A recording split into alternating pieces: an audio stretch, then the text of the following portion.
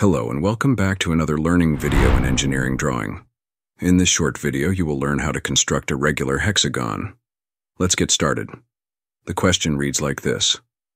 Draw a regular hexagon of 40 millimeter sides, keeping a side A vertical, B horizontal. You can watch the procedure for part A of the question by clicking the link below in the video description. Here we will discuss the method for part B. First, Begin by marking a center point, O.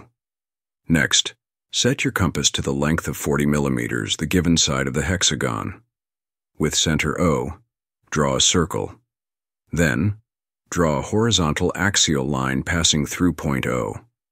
Where this line meets the circle, name the points as A and D. Now, with point A as the center and the same radius of 40 millimeters, draw arcs that intersects the circle at two points. Mark the intersection points as B and F respectively.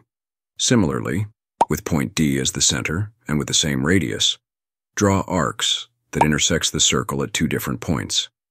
Mark the intersection points as C and E respectively.